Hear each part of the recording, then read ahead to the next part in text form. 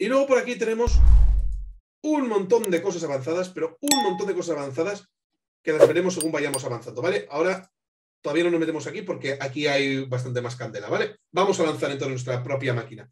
¿Habéis ido siguiendo estos pasos? Solamente me estáis mirando la pantalla. No os he dicho en ningún momento que lo siguierais, ¿eh? No obstante, no os preocupéis porque ahora vais a hacer vosotros un laboratorio que es expresamente para hacer esto, ¿vale? Pero bueno, básicamente he elegido aquí el menú de, del Burger King y ahora me lo están poniendo para recoger con el coche. Ya está elegido. Según el tipo de máquina que pongas, se aprovisiona muy rápido o tarda más. Normalmente suele ser rapidísimo esto, ¿eh?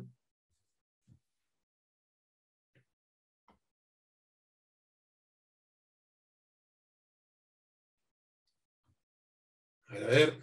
Actualízate. Está en ello. Pues ya lo tenemos. Nos ha provisionado la máquina que le hemos dicho. Fijaros lo rapidísimo que es esto. ¿eh? En EuroWest A. Y fijaros cosas importantes ya que vemos por aquí. Nos ha puesto dos IPs. ¿Cómo que dos IPs? Pues nos está poniendo una IP interna, que esta si tú lo coges y, las, y la pegas en el navegador no te lleva a ningún sitio porque es una IP interna. Es decir, si yo crease otra máquina virtual más en esta misma zona, tendría una IP, seguramente sería todo esto lo mismo y aquí sería 203. Y entre ellas dos se podrían hablar. Pero automáticamente nos ha puesto al vuelo una IP externa, que esta sí, desde cualquier parte del mundo, ya es accesible. Sin nosotros haber tocado nada.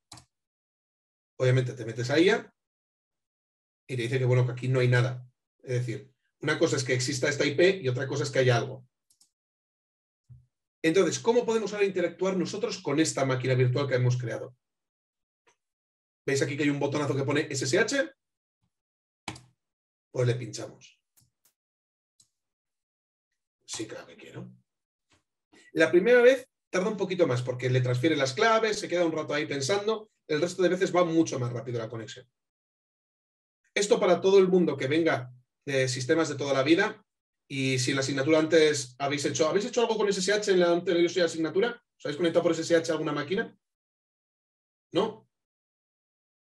Básicamente, eh, para, en el mundo... De, a través de background. De background habéis... Vale, vale, vale. Pues acabamos de coger.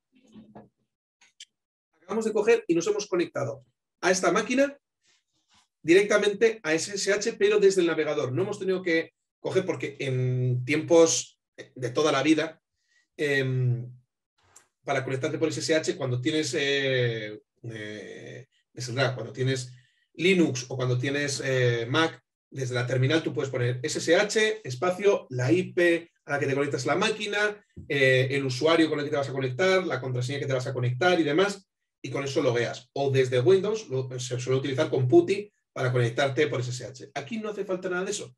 Aquí lo único que necesitamos es pinchar esto y se nos abre esta ventana. Y esta ventana es completamente el Linux que acabamos de montar arriba, es un Ubuntu 18 y demás. Si hago aquí un ls, me dice que nada, pero si hago un pwd, dice que estoy en mi carpeta, que la acaba de crear ya el vuelo con el usuario y todo esto. ¿Cómo yo ahora pongo esto a funcionar? Pues mira, yo puedo hacer un apt sudo apt get update Veis que es completamente funcional. Y ahora yo le digo, tú puedes. Sudo apt get install apache 2. Le digo que yes. Y ya veréis con qué velocidad nosotros hemos creado un servidor web donde antes no lo había. Para subir una página web ya mismo. Ya está instalado. Vamos a probar si ha funcionado. Me meto a la IP externa. Me dice que no. ¿Pero sabéis por qué? porque por defecto cuando te metes Tienes ahí... Tienes que habilitar el servicio, ¿no? No, no, no, no, no, no, no, porque me está intentando acceder por HTTPS. Una cosa es que yo haya instalado eh, un servidor web, pero ese servidor web en ningún momento le he puesto certificados de seguridad, nada de eso, ni está esperando que le hagan peticiones por el puerto de seguridad. Está esperando en el puerto 80. Si yo quito la S, ahí tenemos nuestro...